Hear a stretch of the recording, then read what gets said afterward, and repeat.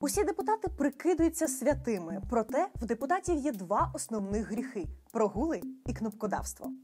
Уявіть три кондитерські фабрики. В кожній працює по 10 тисяч людей. В один прекрасний день усі працівники не виходять на роботу.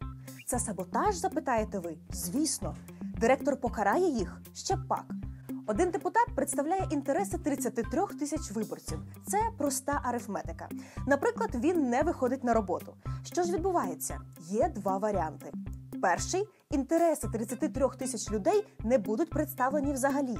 Або ще гірше, хтось прокнопкодавить за прогульника, вкравши волю такої величезної кількості людей. Серед них можете бути і ви. Ми, громадяни України, є директорами своїх депутатів. Звільняти їх за неробство та інше неподобство наш прямий обов'язок. Зробити це ми можемо лише під час виборів. Дізнайтесь, хто з депутатів прогулює та кнопкодавить на сайті polithub.org.